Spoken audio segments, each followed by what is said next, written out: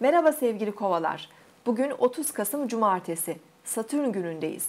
Yakın çevrenizin sizden bugün e, beklentileri olabilir, ilgi göstermenizi isteyebilirler. Onların beklentilerini karşılayamazsanız yoğun olduğunuzu, e, meşgul olduğunuzu onlara açıklamaya çalışın.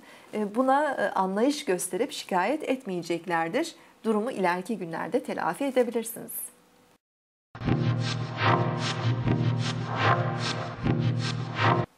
Burcunuzu dinlediniz.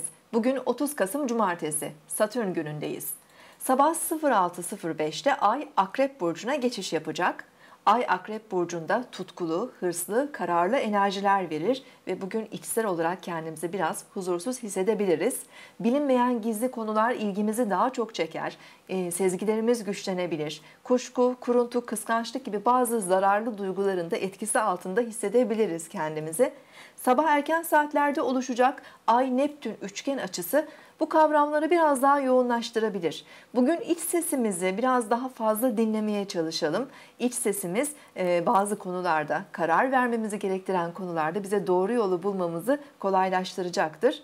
Son birkaç gündür özellikle sosyal hayatımızda da ilişkilerimizde de bazı pürüzler oluşmuş olabilir. Bugün bu konular bizi biraz daha içe dönük olarak e, meşgul edebilir.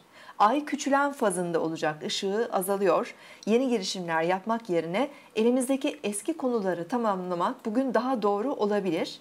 Yay burcundaki Güneş bugün Koç burcundaki Uranüs'te üçgen açı yapacak. Bu özellikle e, ateş grubu burçları olumlu etkileyebilecek bir durum. E, ateş elementindeki bu üçgen açı coşku ve cesaretimizi arttırabilir. Daha özgür, daha bireysel ve ani tavırlar sergileyebiliriz. Gün içerisinde beklemediğimiz bazı sürpriz kavramlarla da karşılaşabiliriz. İlginç haberler duyabiliriz. E, bu Bunlar ilginç bir haber olabileceği gibi bir seyahat fırsatı, bir misafir veya yeni bir tanışma da olabilir. Özellikle koç, aslan ve yay burçları bu etkiyi üzerlerinde daha fazla hissedebilirler. Yarın tekrar görüşmek üzere. Hoşçakalın.